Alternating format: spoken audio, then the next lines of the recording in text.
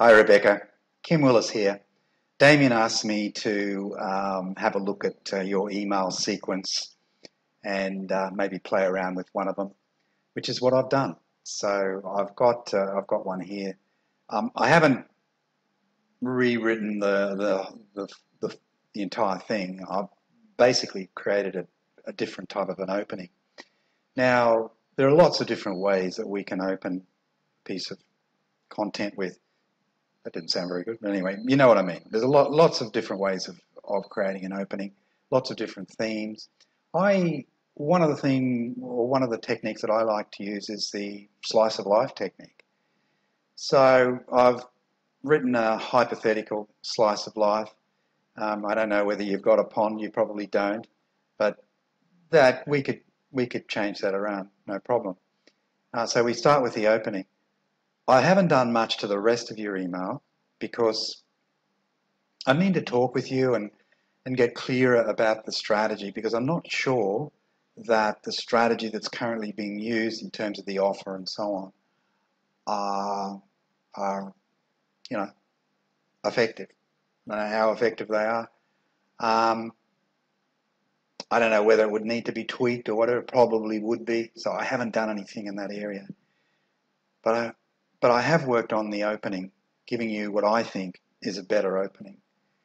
And but to use the opening without making some changes to the rest of it, including the under the underlying strategy that you're using, would be a mistake. Okay? So please don't don't do this until you get all elements working properly. Can we help you with that? Of course. All right, just let me run through it with you very quickly. So we start with a story.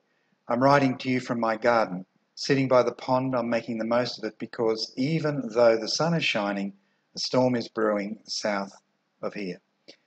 Close by are a handful of chortling magpies. No bird chortles like a magpie. To my left, I spot a large lizard luxuriating himself in the warm sun. It won't be long before my garden is no longer dappled with the warm rays of the sun, but swamped in a mini sea of water and debris. Before I retire to the house, I want to share with you my experiences with some great people I've helped over the years.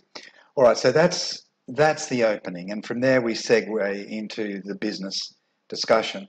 What I've done there is that I've reworked some of your original uh, content, or some of the content was produced for you, um, not a complete rewrite. Whereas the opening is a complete rewrite. It started with a blank sheet, metaphorical blank uh, sheet of paper, and, and, created something new. Now, uh, two versions of this opening could be could be used: the full version like this, or a three paragraph version. So we've got four paragraphs there. We could do a three paragraph version if you wanted to get into the meat of the matter faster. But the the psychology behind this kind of a, an opening, I think, is pretty strong.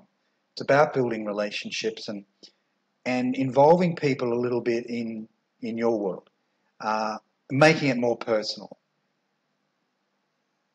making those connections, creating some content that really resonates with people, that gets them to sit up and take notice. People love stories, Rebecca, as you know.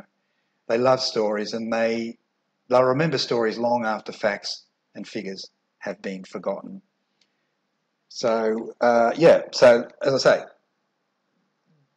I haven't rewritten, I haven't done a complete rewrite of the rest of it. I've just polished some of your other content, but it probably needs a complete rewrite.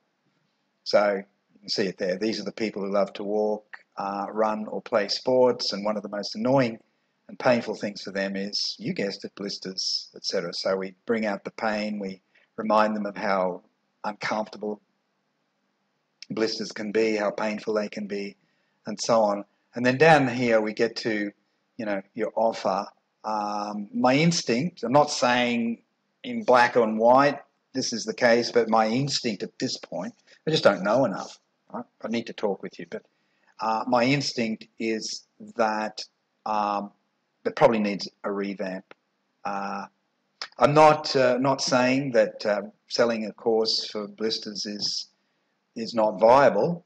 Um, I can see potential in it. Both of my sons were tennis players. They suffered from blisters quite a lot, um, and I mean they're very serious tennis players. So they're they were playing a lot, you know.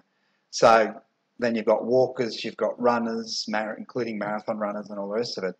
Yeah, it's very much a niche market, but uh, people are very well aware of it. So I, I, think, but maybe the course itself, maybe the, the way the course is presented, the concept of the course could be polished, um, could be upgraded, could be revamped, something like that. I don't know. Um, it doesn't matter how good the copy is. If the offer sucks, it's not going to work. Right? So the best copy in the world is still going to fail if we haven't got an offer that converts. But assuming that when you've got an offer that converts, good copy, when you've got a, let me put it this way, when you've got an offer that converts, even mediocre coffee, copy will make some sales because the offer is so strong, it will convert anyway to a degree. But when you've got great copy, the conversion rates obviously increase dramatically. But the core of it must be the offer, the converting offer. So that's another discussion for another day. All right. Hope this helps. Kim Willis. Bye for now.